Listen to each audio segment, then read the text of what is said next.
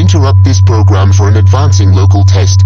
The creature has caused a huge meltdown around the city. Many reports were indeed reported about this chaos, and it is considered very dangerous. So we strongly advise you that do not go outside for any reason. Instead, stay at home. Lock all doors, windows, entrances, and other entrances. This may take about 7 hours to end. Please follow for further updates. Good luck everyone and stay safe. This concludes.